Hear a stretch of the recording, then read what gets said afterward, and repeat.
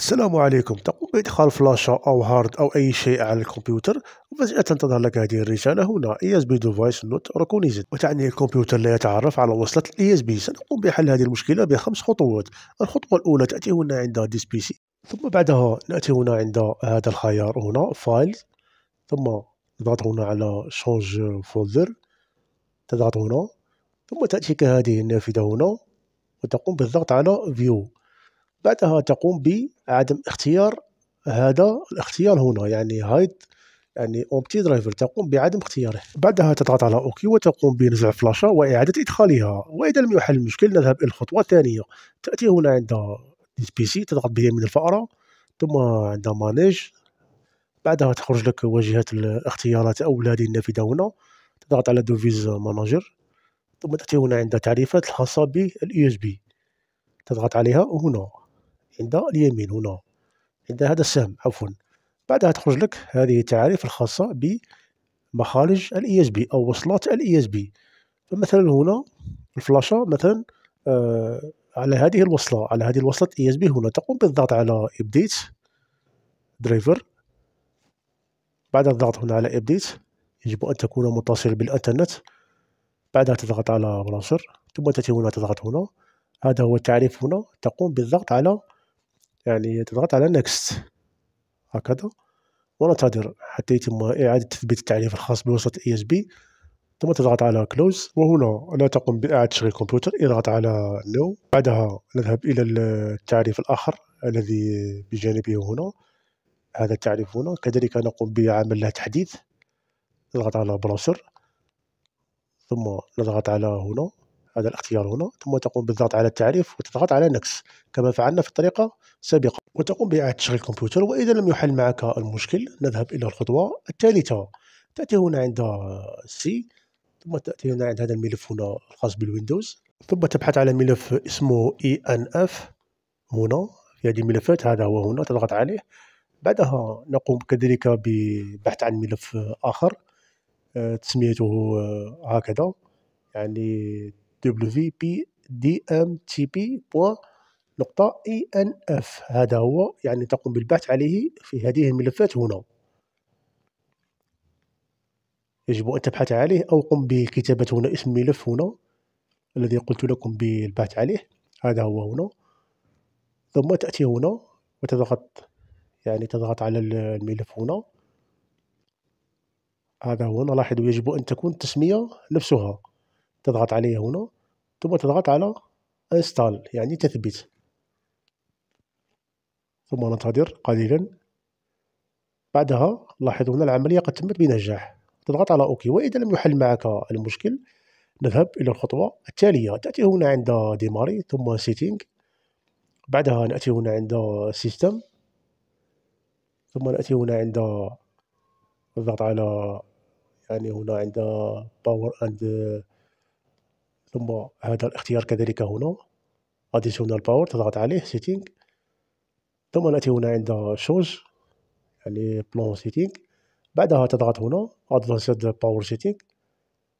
وهنا تقوم بالبحث عن اختيار طاقة أو اختيار ال ESB خاص بال ESB هذا هو هنا. تقوم بالضغط هنا على على الزائد هنا.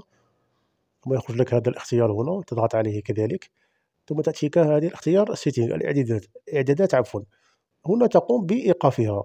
و enabled تقوم بتفعيلها على disabled يعني إيقاف. هذه الخدمة. ثم تضغط على apply ثم OK وتعيد تشغيل الكمبيوتر. وإذا لم يحل معك المشكل فسنذهب إلى الخطوة الأخيرة والمهمة مهمة جدا. وهي يجب أن تقوم بتثبيت جميع التعريف الخاصة بالكمبيوتر ومنها وصلات ال USB التي تسبب مشاكل. فأول خطوة يجب أن تفعلها. بالذهاب إلى موقع Driver Booster ونقوم بتحميل هنا من صفحة التحميل.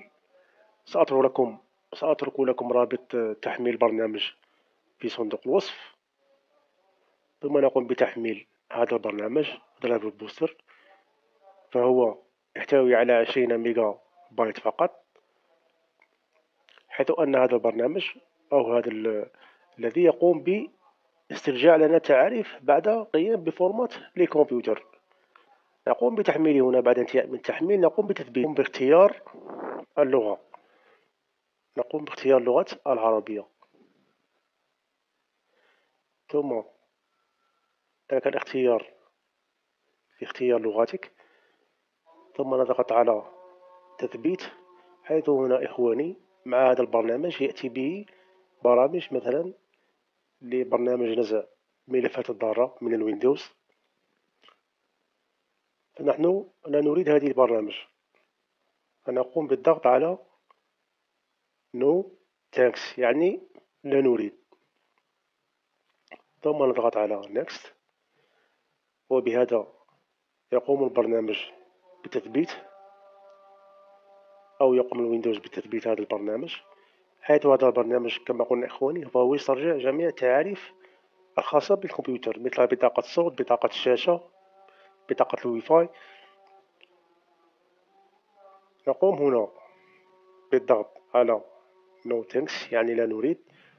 وبعدها البرنامج بعد انتهاء من التثبيت نضغط على scan فيقوم ب scan للتعاريف غير الموجودة على الكمبيوتر. أما أما أنا إخواني هنا في هذه الحالة فقد قمت بتثبيت التعاريف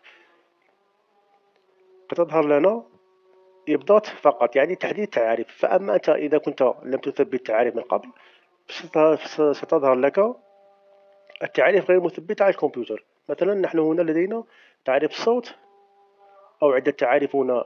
مثلا هذه مثبتة قد ثبتها من قبل. فأما أنت, فأما أنت تخرج لك غير مثبتة. مثلا هنا تعريف صوت video and game هذا التعريف غير مثبت على الكمبيوتر. فأنا هنا أقوم ب update يعني تحديث هذا التعريف. فهذا البرنامج إخواني يسترجع كل التعاريف الغير موجودة على الكمبيوتر. يقوم بالتحميل بنفسه من الموقع من موقعه الخاص وبعد تحميل من الموقع فهو يقوم بتثبيت التعريف بنفسه أوتوماتيكيا.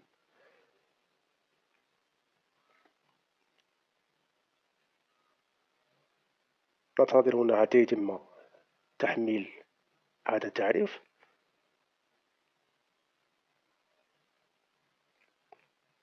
فهو يسترجع بطاقة الشاشة بطاقة الصوت وبطاقة وكل شيء للتعريف خاصة بالكمبيوتر. ويقوم كذلك إخواني بتحميلها. وتستطيع أن تضغط هنا على automatic restart PC يعني بعد انتهاء من التحميل يقوم بإعادة تشغيل نفسه بنفسه. يعني لك الخيار في ذلك.